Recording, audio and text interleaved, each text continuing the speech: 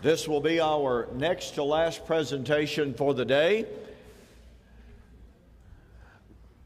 Rod MacArthur will complete his uh, two, two lessons by, as you can see, Daniel or Daniel's last days. You know, I just kind of got the sneaky suspicion that if you conflate, that is, if you join together uh, William's lesson on the last hour, the hour of glory, with Rod's two lessons, especially this lesson on Daniel's last days, I just kind of suspect you'll have some pretty good stuff there. All right. Rod, why don't you come on up? Like I said, uh, I don't think any further introduction is necessary. Uh, I, I know that you enjoyed Rod's first lesson because I heard you saying so, both to him and to me, and we appreciate that. We, we want to bring you people that will feed all of us. And uh, like I said, Rod was here about four years ago or something like that, and I knew that it was time to have him back. So without any further ado, we'll give you Rod MacArthur again.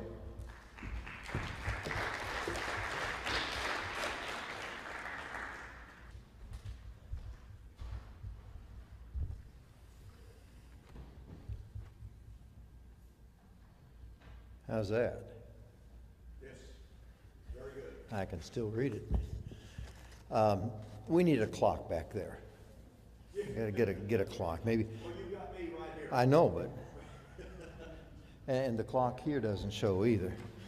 Uh, I was I was looking at the schedule, and after me is a catered dinner.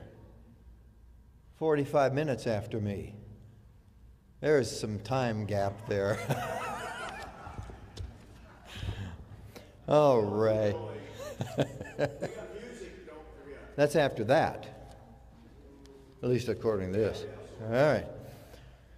I got a, an email from uh, my good friend Sam Dawson just two days ago. He said he apologized and was not going to be able to make it here. I so wanted to spend some time with him.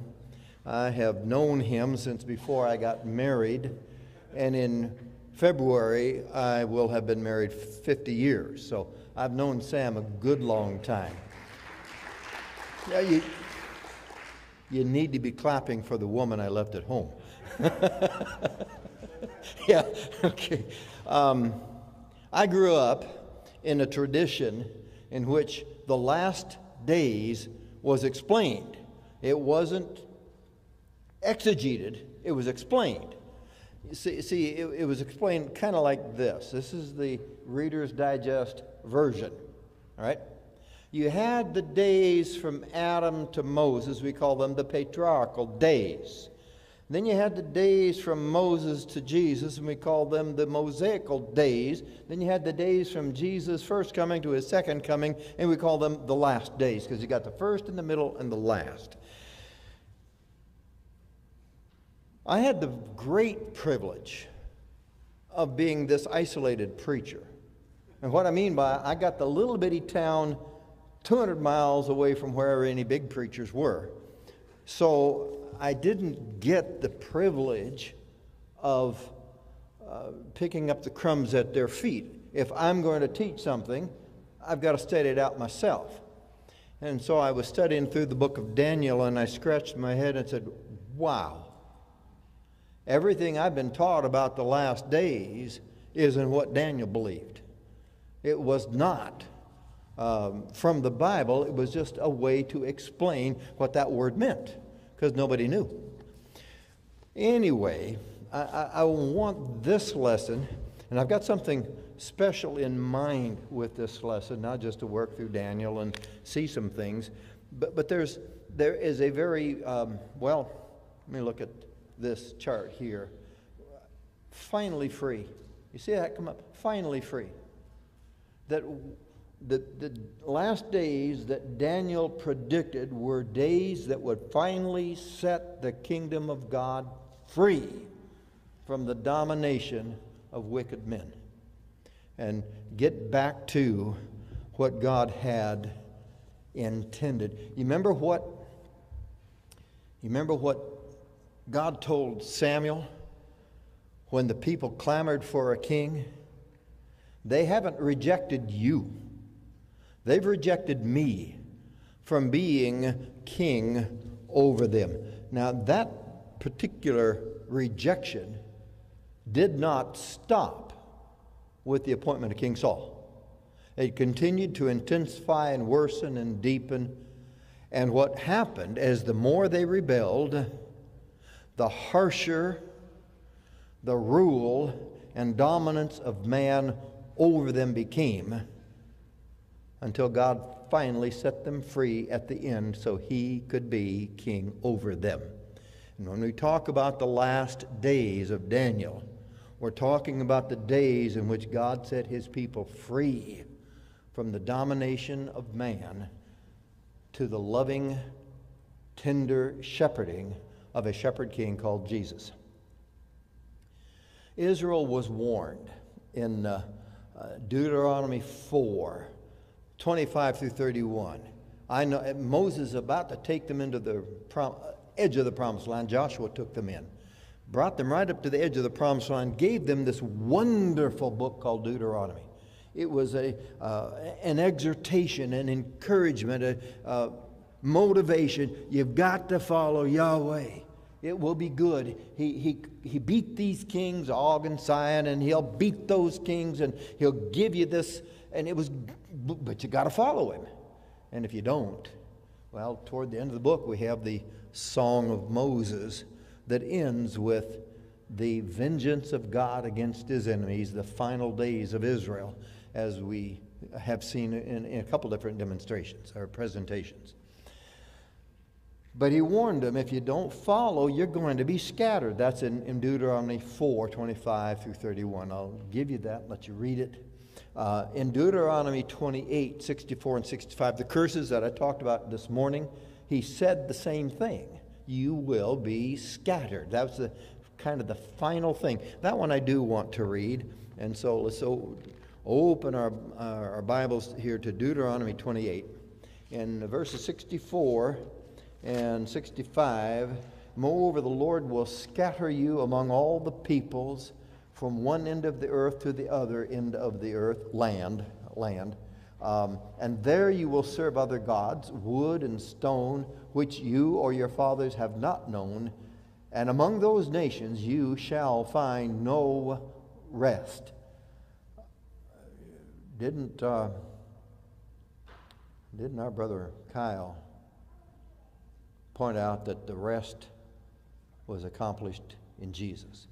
You'll have no rest uh, there, but that's where you're going to be. And, and so, uh, no resting place for the sole of your foot, but Yahweh will give you a trembling heart, failing of eyes, and despair of soul. Not what he wanted for them, but what they brought upon themselves. Now, there's this wonderful passage in Isaiah where people were mocking Isaiah, you know, he, and making fun of him. And so God says, Well, you're not going to listen to my prophet Isaiah, then you are going to listen to people whose language you don't understand. Uh, they say, To whom would he teach knowledge? This is uh, Isaiah 29. To whom would he teach knowledge, and to whom would he impart the message? Those weaned from milk? Those taken from the breast? In other words, he's just a kid, he's just got kid message you know, maybe Mr. Rogers or somebody like that. For he says order on order, order on order, line on line, line on line, a little here, a little there. Indeed, okay, now here's God's response. Indeed, he will speak to this people through stammering lips and a foreign tongue. For he said, Here is rest, give rest to the weary, and here is repose, but they would not listen. They wouldn't listen to him when I spoke to them in Hebrew. So I'm going to speak to them with a stammering tongue. What, what am I really trying to say? Is that God didn't want them to be ruled by anybody but Himself. He allowed them to be ruled by the kings, but that was part of their rebellion.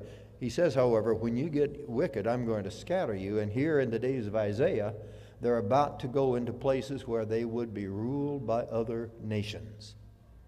And you say, what's this got to do with Daniel? I'll show you what I think it has to do with Daniel. It has to do with the metal man dream that Nebuchadnezzar had. In Daniel 2.28, now I'm not going to go through that dream because of um, Don's got the whip and the, time, and the stopwatch, and I, I want to get through this. But You know the dream. And the king said, I, I don't understand the dream. Nobody can tell me the dream. Finally, Daniel says, There's a God in heaven who can tell you the dream. Let's turn. We're going to do some work in Daniel now, in chapter 2 and verse 28. Very important passage. Uh, significant. Ezekiel's before Daniel. There it is. Okay. Daniel 2. However, verse 28, however, there is a God in heaven who reveals mysteries, and he has made he has made known to King Nebuchadnezzar what shall take place in the latter days. Whoa, literally in the end of the days. Have you ever wondered what days were coming to an end? Clearly, it wasn't Nebuchadnezzar's days, was it? There's a head of gold and the chest of silver and the thigh of bronze and the legs of, of iron and iron mingled with clay. Four kings. Surely we're not talking about the end of Nebuchadnezzar's days. This is further than that. This is down when a stone would hit that statue and uh, crush that statue. Uh, and so four kingdoms were represented here. And here's an interesting thing. Oh, in verse um, 44 says, In the days of those kings, the God of heaven will set up a kingdom which will never be destroyed, and that kingdom will not be left for another people. I want to pick up that phrase, coming back to the others in a minute. But he says, not left to a, which means that these previous kingdoms leaving their people to another kingdom. You know, the demographic didn't change when the rulership changed. All the, pe- all the citizens of Babylon didn't just die when the Medo Persians took over. It's just the Medo Persians took over the populace. And so the kingdom was left to another king, left to another empire, left to another domain. But when God set up his kingdom, he said, That's not going to happen to mine. That will not happen to mine. And so in verse 44, where we just read, in the days of those four, God would set up a kingdom, another kingdom, uh, which would never be destroyed and which would not be left to another. So th- there's, there's an, an end, but at the end, there's a beginning. I mean, we, we've established this several times already in, in the seminar that the kingdom of Jesus has no end. But something came to an end in, in Nebuchadnezzar's dream. Okay? And so uh, we're going to take a look then uh, more at this. That, that in verse 45, it says, Inasmuch as you saw a stone was cut out of the mountain without hands. By the way, that phrase, without hands, you'll see that over and over. A circumcision made without hands, a temple made without hands, and over and over. That means God did it. This wasn't of human origin. So, this stone uh, cut by God, that it crushed the iron, the bronze, the clay, the silver, and the gold, crushed them all together. You know, there's people who are waiting for the Roman Empire to be re, what do you call it, re, re solidified, re, uh, uh, revived, brought, re- reconstituted. That's the word I was looking for. Reconstituted. Well, if you're going to re- if you got to reconstitute, you got to reconstitute the Medo-Persian, the Grecian, the, the Babylonian, all because it, it, it smashed them all, right? It smashed them all at the same time. Now, detractors. Uh, let me let me back away from that that word. Uh, there, there's some object to the kingdom, uh, the, the, the picture of Daniel being fulfilled with the destruction of Jerusalem. And, and the reason is well, the Roman Empire didn't fall then, did it? And, and it didn't. And the Roman Empire kept on for several hundred years after that. I don't believe that the context is dealing with the physical fall of that empire. It's not the fall of Rome, but it is, watch this, um, it is the deliverance of God's people from the metal man dominion. They have not rejected you, they've rejected me.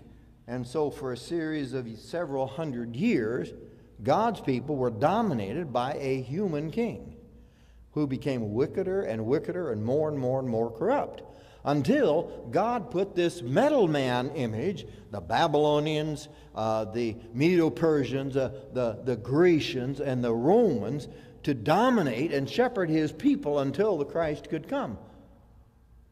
But then a stone came, the Christ, smashed this image, and set his people free from that dominion. And so it's really a talking not about the collapse of the Roman Empire, but the collapse of the control of Rome over the kingdom of God. That, that's, that's the way I see it.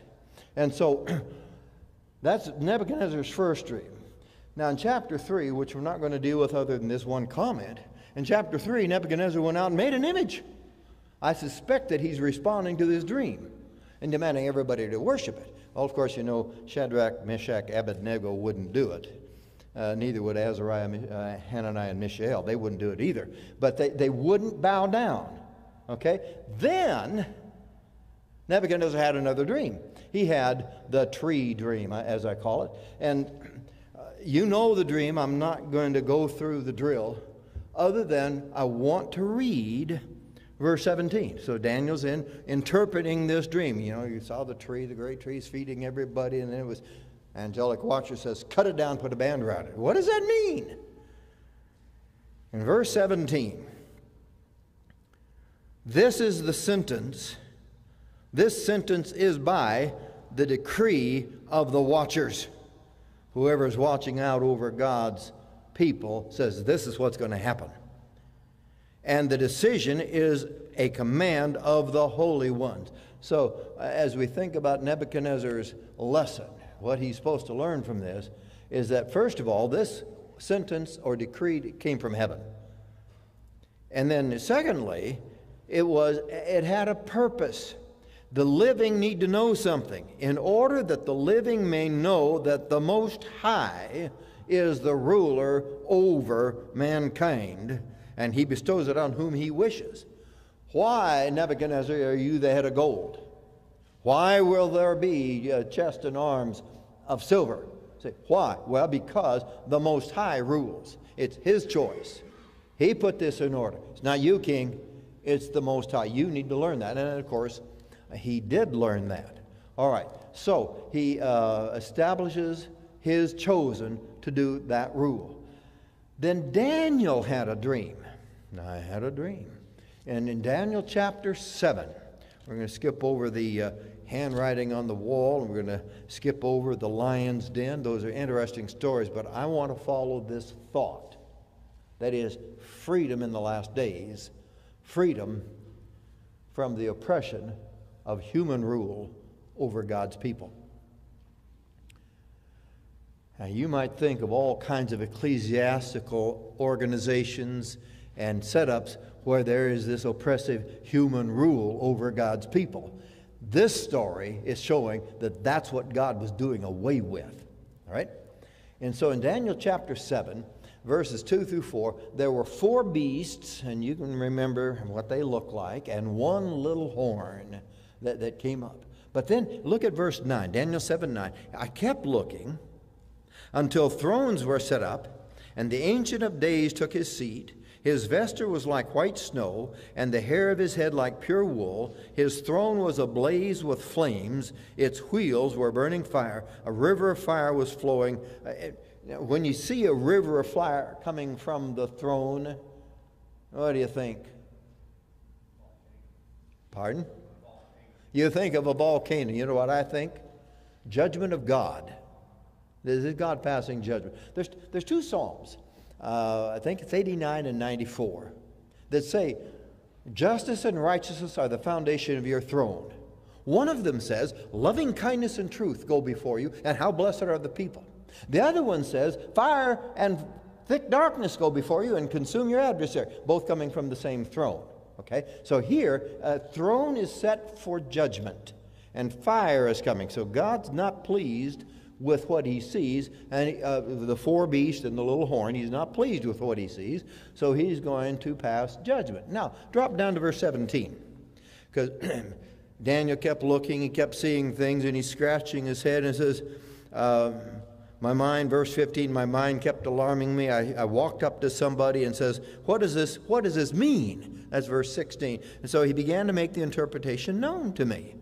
Verse 17 says, These great beasts, which are four, are four kings who will arise from the earth. That reminds us of Nebuchadnezzar's dream. You, O king, are the, uh, are the king of kings. You are the head of gold. Well, not just King Nebuchadnezzar, but the entire Babylonian kingdom. And so also, these four beasts are four kings, four uh, different kingdoms, which will arise out of the land. But the saints, and so we've got uh, four uh, beasts uh, equal four kings, but the saints of the highest one, they'll receive the kingdom forever, for all ages to come. So this is this can't be the end. When they receive the kingdom, which doesn't end, the end can't be at the end of that because it doesn't end. So the end is what gives them that. Something else comes to an end so that they can have an unending kingdom, don't you see?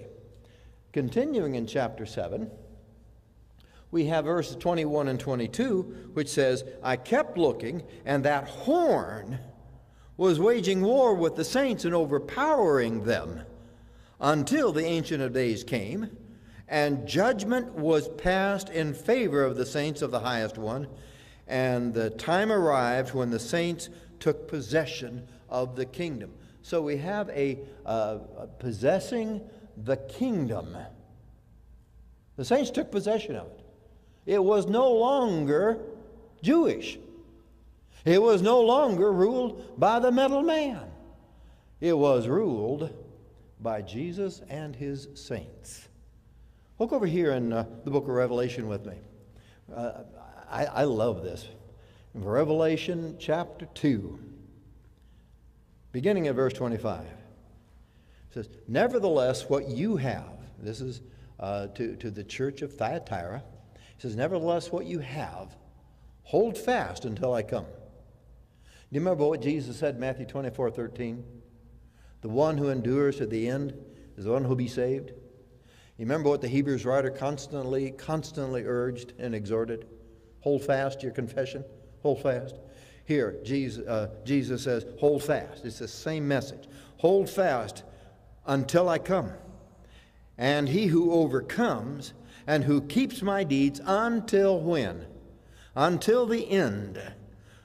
To him I will give authority over the nations, and he shall rule them with a rod of iron, as the vessels of the potter are broken to pieces.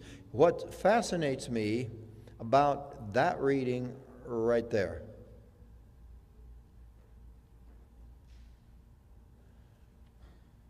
is that's the Messianic Psalm, Psalm 2. And that's talking about the rule of Jesus. Isn't it? You read Psalm 2, that's the rule of Jesus shouted the knee. We don't want him our, as our king. We don't want him. I'm going to set him up anyway. Heard that last night by, from somebody. I'm going to set him up anyway. But here, did you see it? Did you see it? Did you catch it? He who overcomes and who keeps my deeds. Now, the my is Jesus, and the he who overcomes is any Christian in the days of Jesus who perseveres and endures the difficulties. To him I will give authority over the nations. In other words, he's going to rule the nations with me.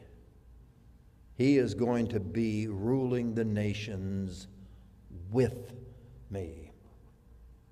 But Jesus said in, John, in Revelation 22, verse 7, I am coming quickly. And we saw last night, I think it was last night, it all blurs together that this idea of coming quickly is not the speed of the coming, but the soonness of it. It's not the speed. The word does not mean now the, the rapidity of, of the approach, but the soonness of the approach. Now, what am I saying? Uh, he says to them, to them, to the people in Thyatira, You keep my words until I come, and you rule the nations with me. But in 22 7, he says, And I'm coming real soon. But here in the book of Daniel, at that judgment at the end, that's when the saints possess the kingdom and were ruling with Jesus. okay? So, um, I want to take a look uh, at Daniel's vision now in chapter 8. Moving on to chapter 8. Here's the ram and the goat vision verses uh, 3 through 8 tell you about the ram and the goat. And verse 20 says that the ram is the Medo Persians, and verse 21 says that the goat are uh, Greece, Alexander the Great. Now, Alexander had uh, four, actually, he had five generals. Um, and I, one of them, when, when Alexander died, the other four killed the one. But they were left with a guy named Lysimachus, uh, Cassandra, uh, Seleucus, and Ptolemy. And uh, Lysimachus took everything west of Greece, and Cassandra took, uh, Cassandra took everything east of Greece, and uh, Seleucus took the uh, Palestinian area, and Ptolemy took Egypt.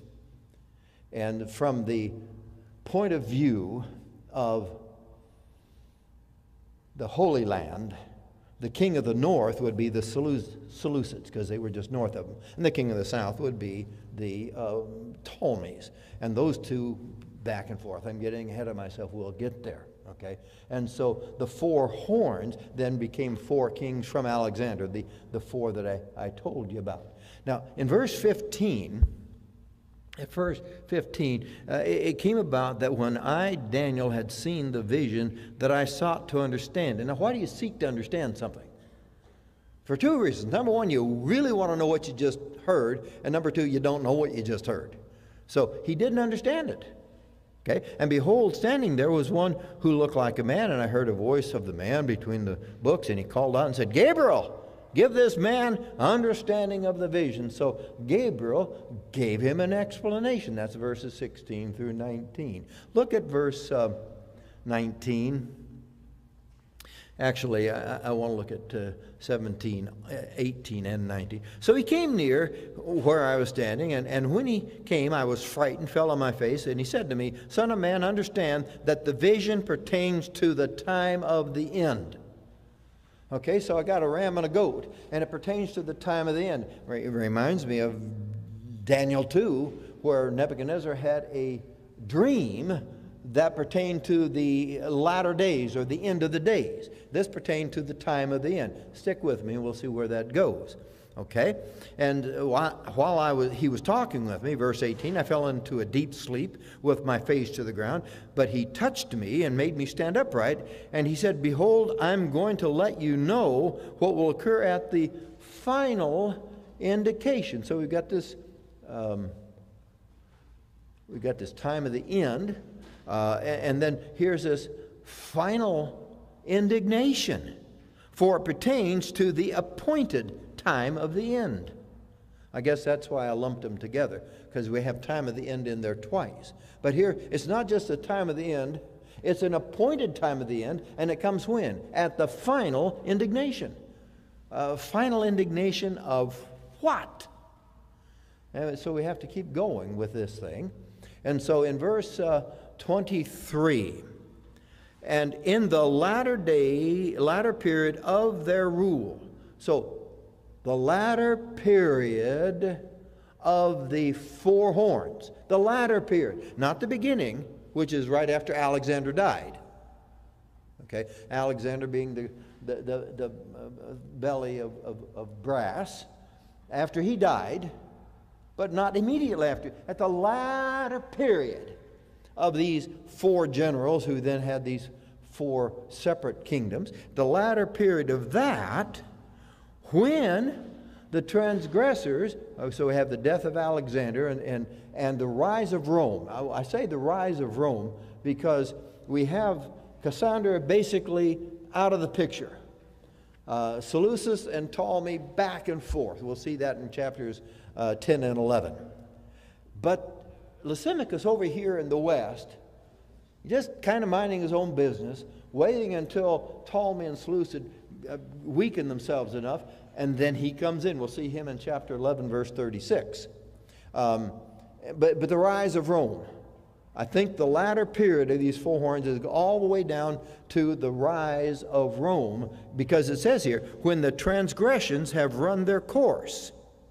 So we, we, have got, um, got a period of time where the transgressors and the indignation uh, is filling up and filling up and filling up, which reminds me of Matthew 23, uh, where Jesus said, Fill up then the measure of your fathers, so that how will you escape the sentence of Gehenna?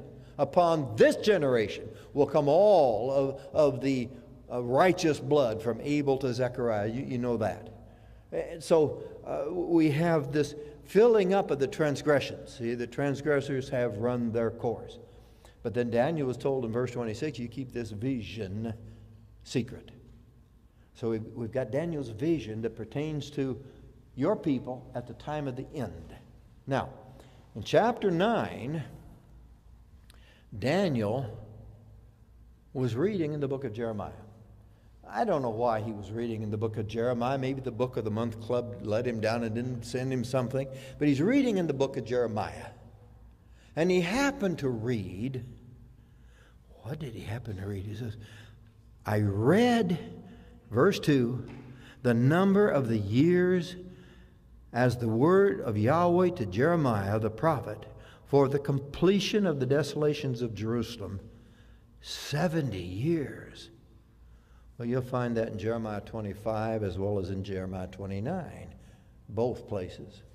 So Daniel was reading and he, he realized that it's 70 years. Uh, and, and he started to pray. I'm putting two and two together and I'm coming up with the, the number somewhere between three and five and decide that Daniel must be in that 70th year.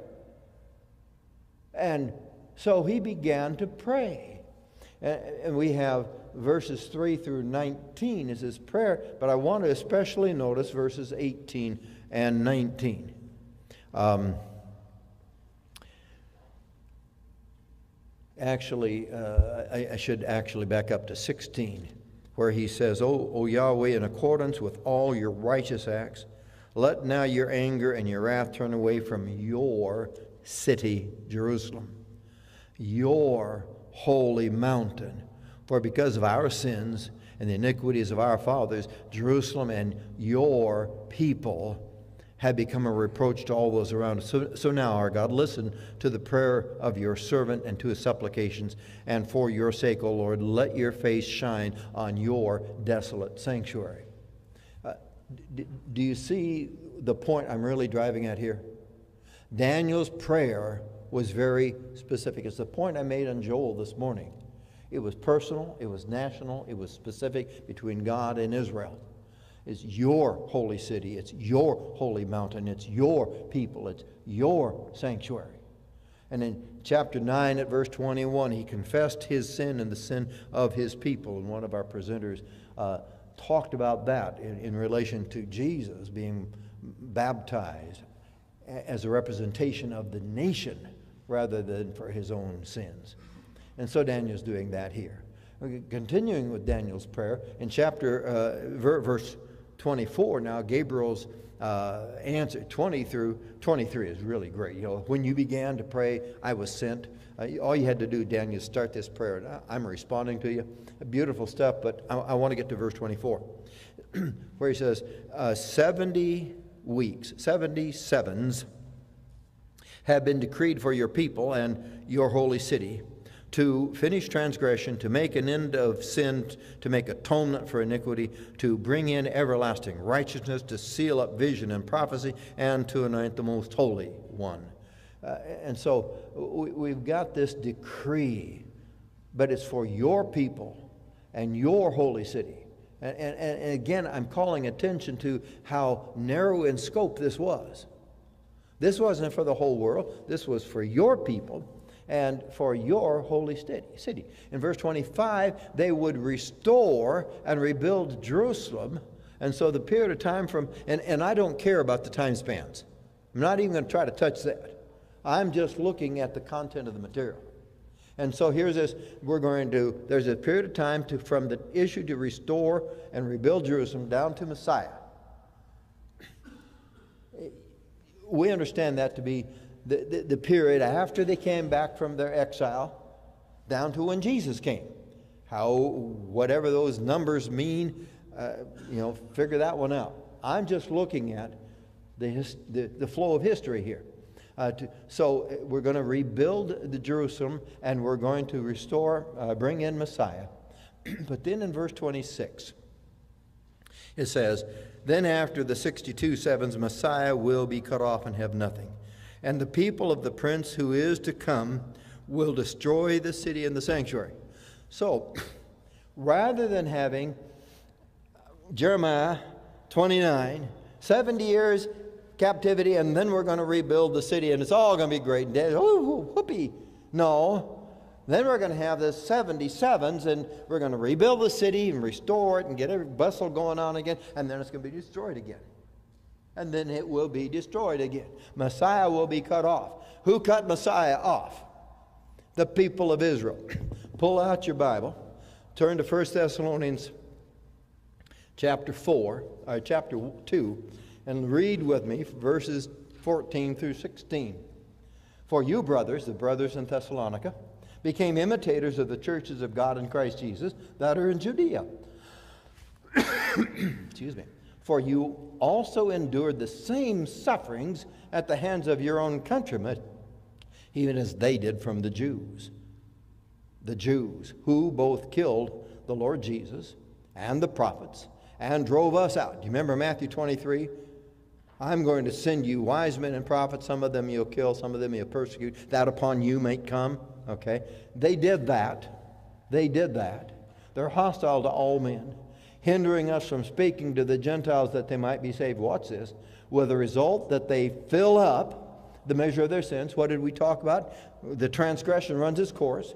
The uh, uh, desolation becomes full. The uh, iniquity becomes full. Fill up the measure of their sin. But wrath has come upon them, it says, to the utmost, literally, to an end, literally. Wrath has come upon them to an end. And so we're cutting off the Messiah was a time to bring the Jewish people to an end. That's what I'm saying. And I think that's exactly, well, Paul got his message here from, from Daniel, right? And so then we, we take a look then uh, again at verse 26 says the city will be destroyed. See, he will come in and destroy the city and the sanctuary, and its end with a flood. Hint, Revelation 12.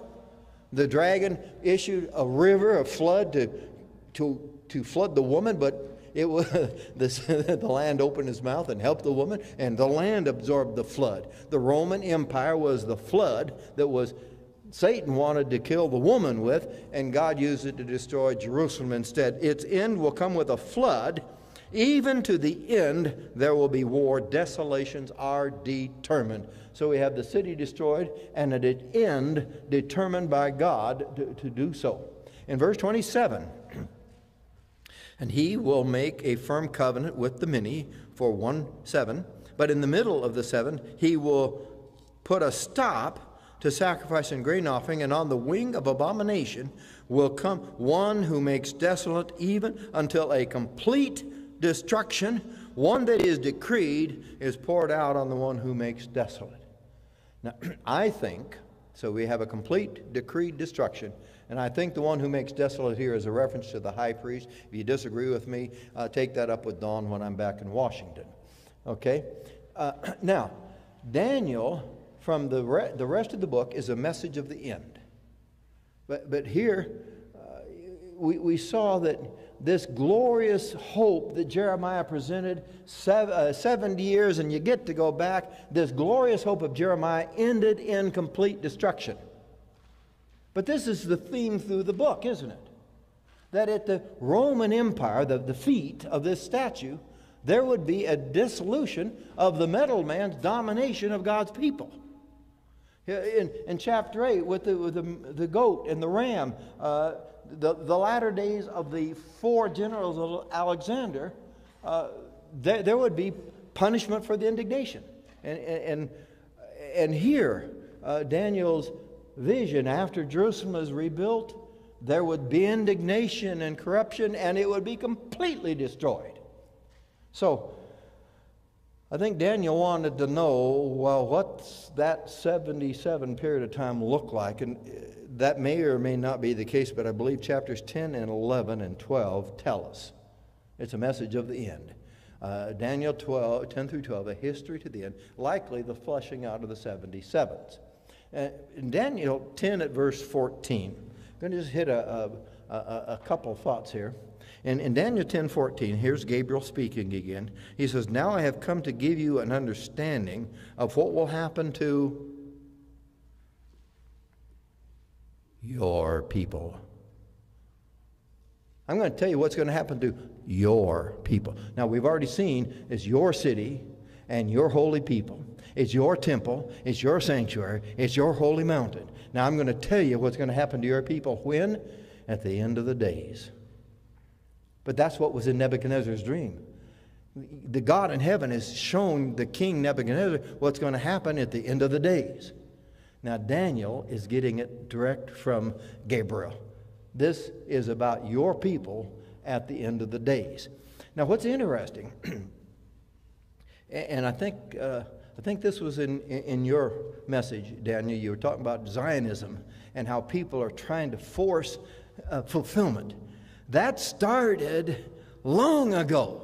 In chapter 11, we've got a couple, uh, we, got, we got a couple kings sitting, uh, a Seleucid king and a Ptolemy king sitting at a table and uh, lying to each other and trying to bring something about. It's, but it says, but it will not succeed, for the end is at the appointed time. It doesn't matter what man is trying to do, the end is going to come at the appointed time. And so I take great comfort in that. That uh, this uh, Zionist uh, movement in the U.S. and trying to get the politics involved, it's not going to work. Uh, it's not going to work. All right.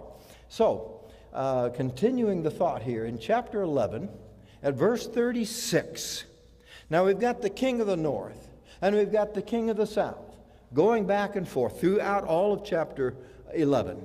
I believe uh, that, uh, th- this is amazing, by the way, and skeptics hate this part, that you can actually take the history of the Ptolemies and the Seleucids and the bickering back and forth and the intrigue and the intermarrying, and you can map right onto Daniel 11.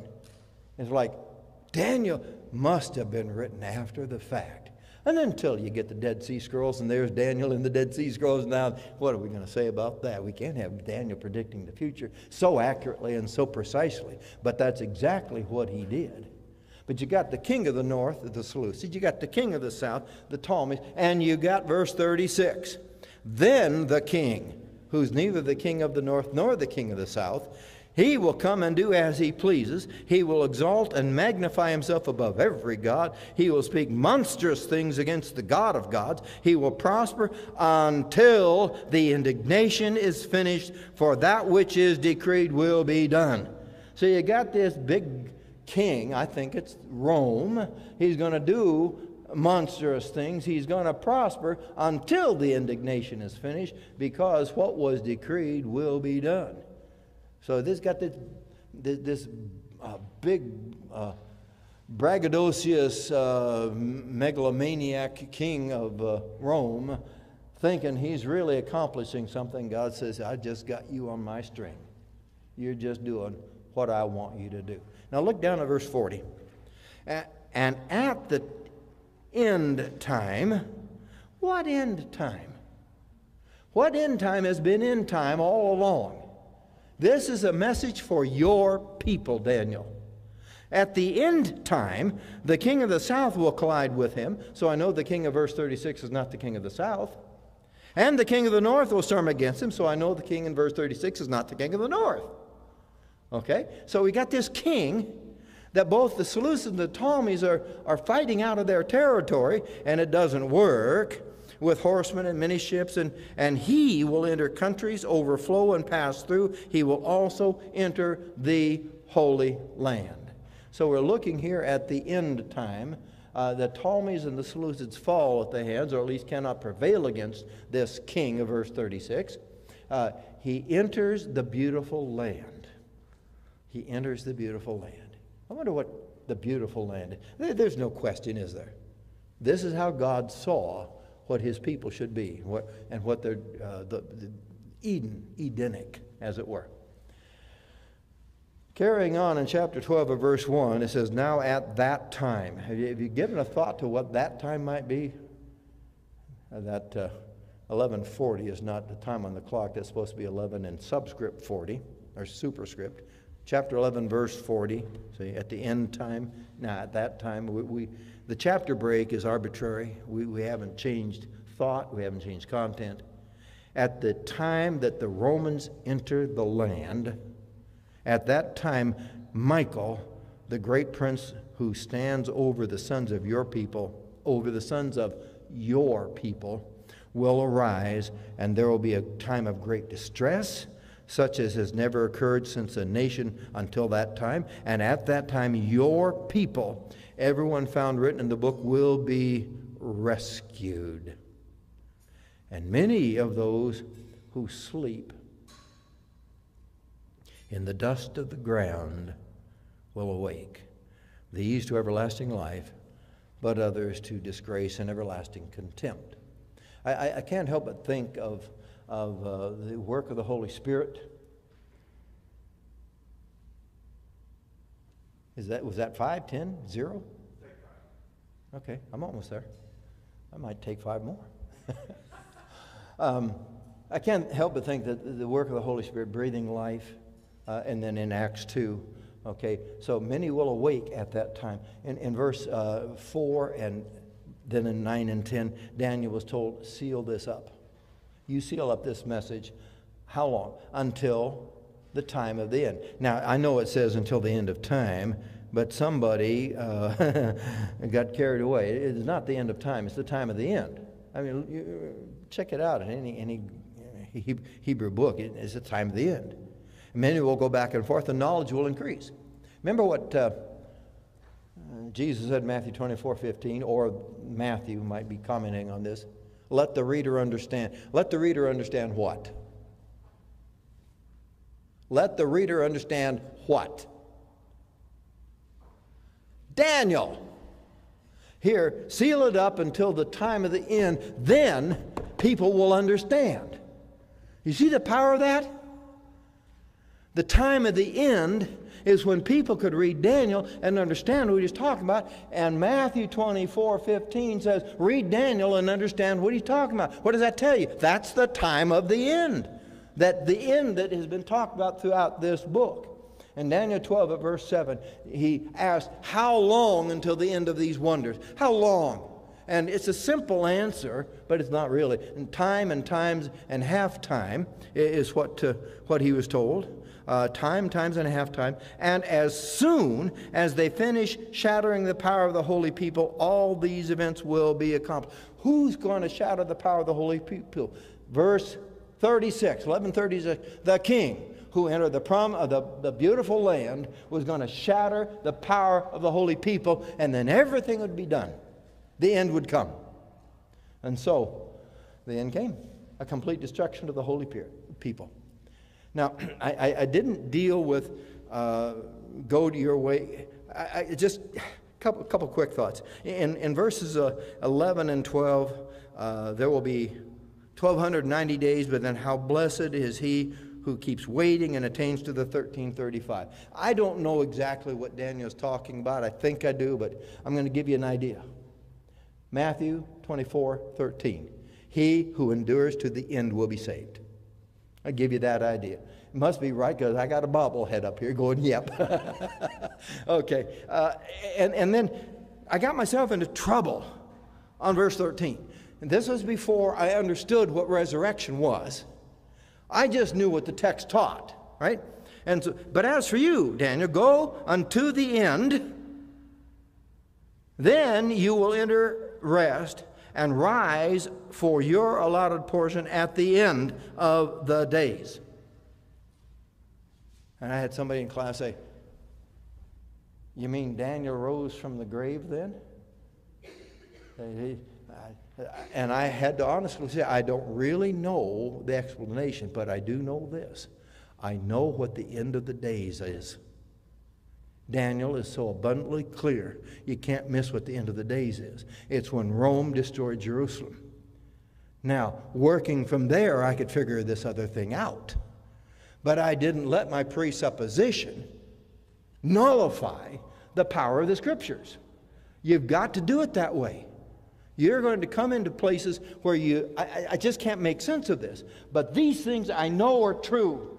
Let me then work this out to see what it means. All right, let me share with you then the concluding ideas. A, a, a, clear, decreed end dominated the book of Daniel. Number two, it pertained to Daniel's people, city, and temple. It didn't pertain to the whole world. It pertained to Daniel's people, city, and temple. It was it came upon them in their last days when Yahweh sent Rome to finish the decree that he had made. And so we say again, last days are past days. They're long past. They're long past. And that is my understanding of Daniel's last days. Thank you.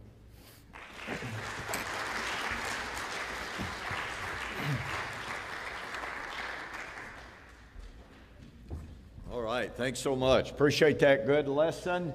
I didn't get to hear all of it. I had to run home, take care of some pressing business. But uh, I got in, got in on the last bit of that, and that was just really, really good, uh, especially that development there in the latter part of Daniel chapter 11. And, uh, you know, he, he's absolutely correct when he, when he says that those are some troublesome texts for an awful lot of people. All right, uh, folks, as you can see.